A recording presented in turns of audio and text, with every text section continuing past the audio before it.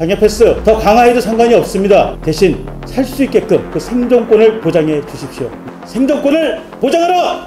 보장하라! 보장하라! 보장하라!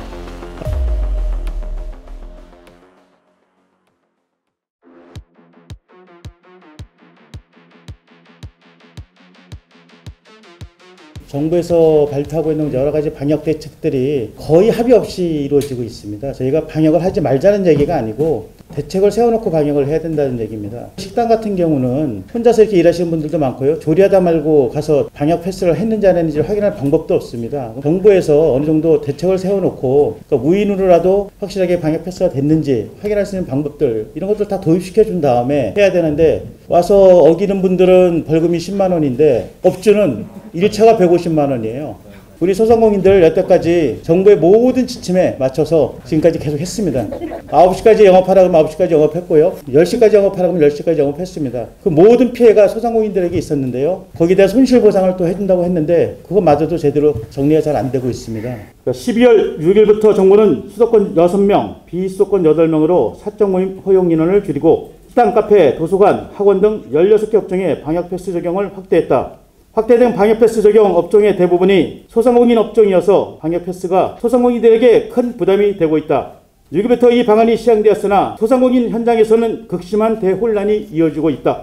인원이 적은 소상공인 매장의 형편상 식당에서 조리를 하다가 출입구로 나와서 백신 패스를 확인하고 이 과정에서 백신 패스를 확인하는 방법을 일일이 고객들에게 고지하며 대기 시간도 길어지면서 장사를 제대로 할 수 없는 상황까지 내몰리게 되었다.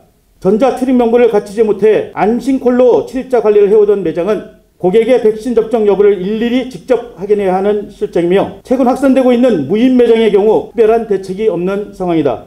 12월 13일부터 적용된 방역패스 미준수 1차 위반 시 150만원, 2차 위반 시 300만원, 과태료와 1차 위반 시 10일, 2차 위반 시 20일, 3차 위반 시 3개월 운영 중단, 4차 위반 시 시설 폐쇄 행정처분까지 내려지게 된다.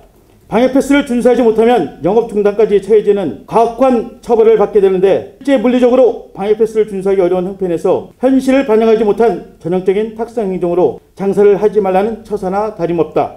소상공인 현장에서는 인원을 충원해 주든지 방역에 드는 비용을 지원해야 한다는 목소리가 높다. 용인시 소상공인연합회는 이번 주부터 시행되는 방역 패스 단속에 반대 입장을 밝히며 정부가 방역 실패의 책임을 소상공인 자영업자들에게 전가하는 방침을 처리하고 실질적인 대책을 마련해 줄 것을 촉구한다. 정부가 방역 지침을 강화하고자 한다면 방역 패스 단속 계획을 처리하고 계도 기간을 연장하여 무인전자 출입 명부 보급 등 인프라 확충이 이루어진 후에 추진해야 할 것이다.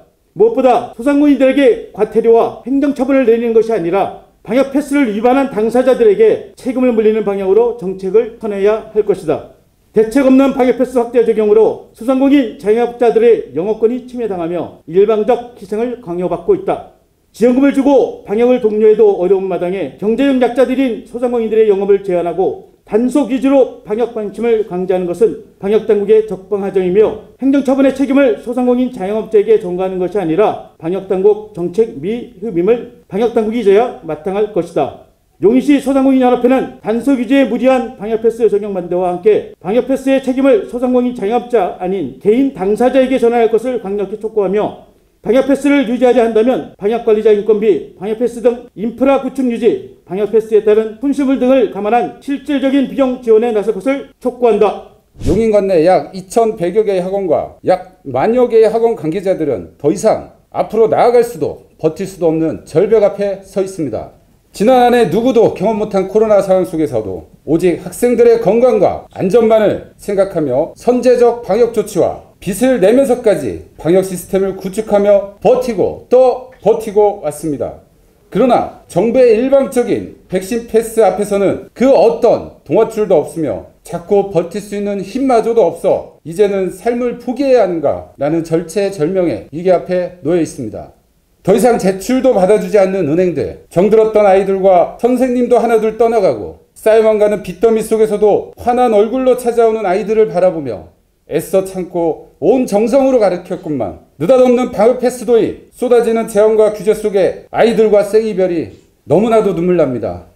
막막한 하루하루에 이제는 후회로 바뀌는 학원인의 삶이 가혹하기만 합니다. 학원인도 소상공인입니다.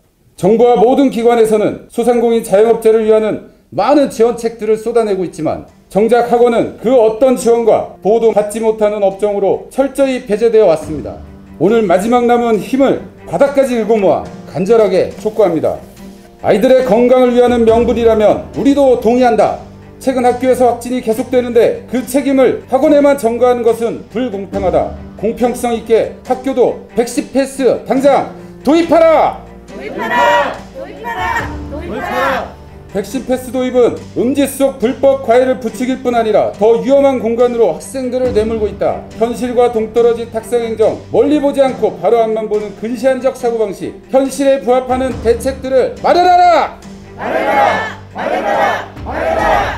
이용자는 10만원, 사업주는 150만원, 범법자 양산하는 방역 패스 즉각 철회하라!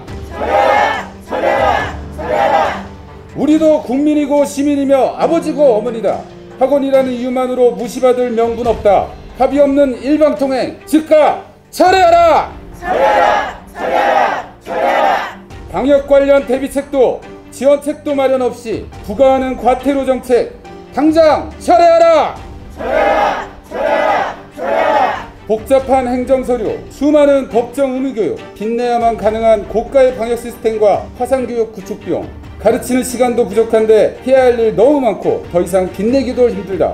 불특정 다수가 아닌 특정한 아이들만 다니는 공간으로 손소독과 마스크 착용, 철저한 거리두기, 정해진 시간마다 실시하는 환기로 집보다도 완벽한 방역 체계를 유지하는 학원인데도 이 이상 그 무엇이 필요한가? 학원만을 옥죄며 탄압하는 비상식적 탁상 행정 그만하라! 우리가 하지 말자는 얘기가 아니고 제대로 하자는 얘기입니다. 우리 소상공인들이 이 방역 패스를 지킬 수 있는 조건과 환경을 만들어 달라는 얘기입니다. 방역 패스 더 강화해도 상관이 없습니다. 대신 살 수 있게끔 그 생존권을 보장해 주십시오. 생존권을 보장하라! 보장하라! 보장하라! 보장하라!